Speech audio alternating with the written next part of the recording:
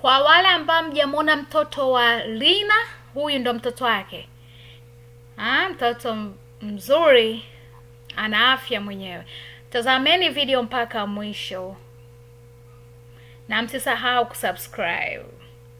Lazima niwakumbushe kila siku, ni muhimu sana kusubscribe ili usipitwe na mastori. Mwanamke kunyonyesha bwana, kwa wale ambao wanyonyeshi na hawana matatizo yoyote, sijui wanakuwa wanawazani lakini kunyonyesha ni muhimu aa, maziwa ya mama yana afya kwa mtoto. Niwapeni somo kidogo. Hapa ni kipindi cha ujauzito wake kwa wale ambao mkuona basi hapa mmeweza kujionea ndo kama hivi. Tazameni mpaka mwisho na msubscribe pia.